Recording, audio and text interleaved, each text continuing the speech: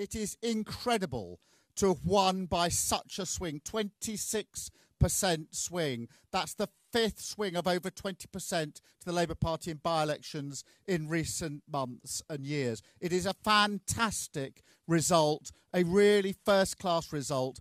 And here in Blackpool, a message has been sent directly to the Prime Minister.